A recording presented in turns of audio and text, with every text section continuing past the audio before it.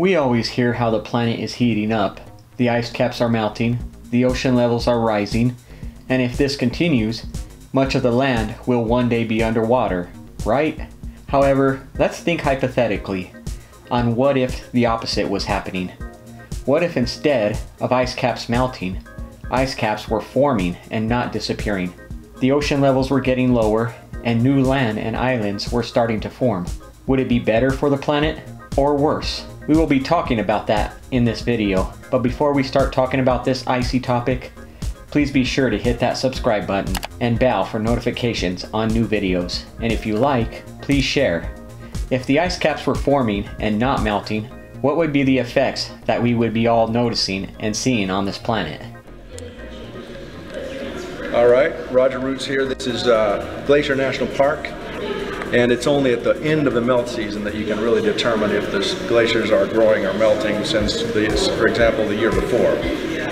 Uh, they have visibly been changing their signs, basically suggesting that computer models indicate glaciers will be gone by the year 2020. Now that's two and a half years from now. This sign, just last September, actually said the glaciers were all predicted to melt by the year 2020. And now it says when they will completely disappear depends on how and when we act.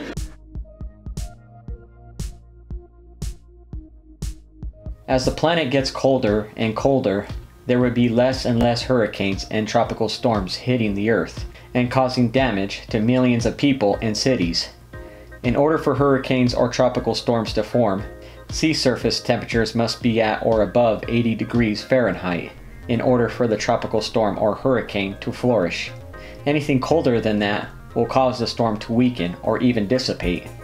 So if the world is getting colder and ice caps are getting bigger, less hurricanes would be happening, probably saving billions of dollars of hurricane and tropical storm recovery. Sounds great, right? While there is only one problem with this. Sadly, we actually need hurricanes and tropical storms to survive.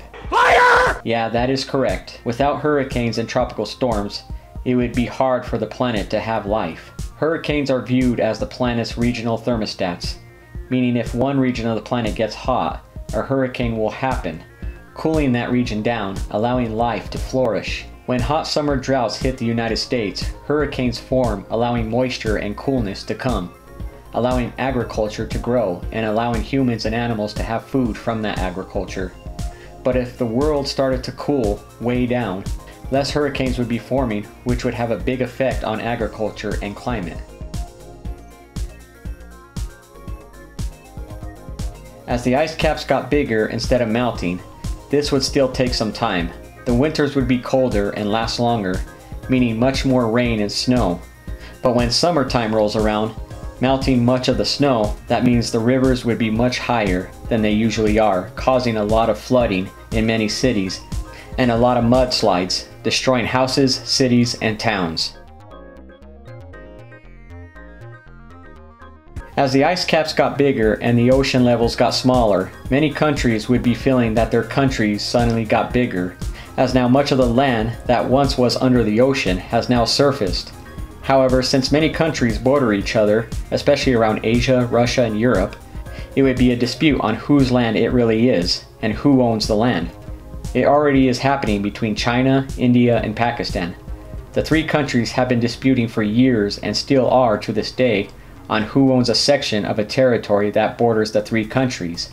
It is known as the Kashmir conflict. All three countries claiming the territory belongs to them. The region is split between the three countries, but the three countries want the territory all to themselves. They almost came to nuclear war in 1999 because of this land, and this piece of land is not even under the ocean.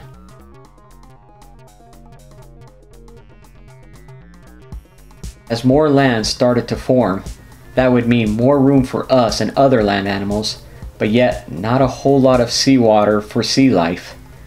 We would no doubt be seeing a lot of dead sea life on the land where there once was water, making more and more sea life depleted, putting many sea life on the endangered species list.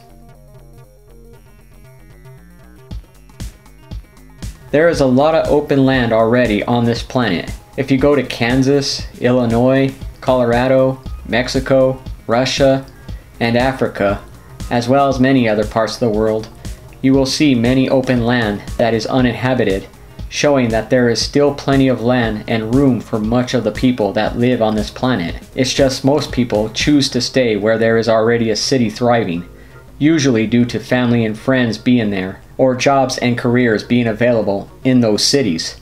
However, if the ocean started to get smaller and more land started to appear, much of this land that is now available would most likely be uninhabited mostly just filled with wildlife and explorers and scientists, studying these new and amazing lands that have suddenly surfaced.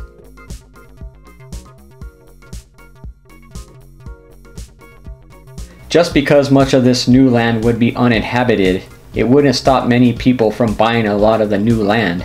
Many investors would know at some point much of the land would be used for vacationing or for private use, and of course, they would want the land first so they could make big bucks from whoever comes forward saying they want the land for themselves. As the ice caps got bigger, much of the world would get colder. Winters would last longer. A lot of animals that are unable to survive in the cold conditions would be in danger of survival, while animals that are used to the cold would start to migrate to places where you usually would not see them.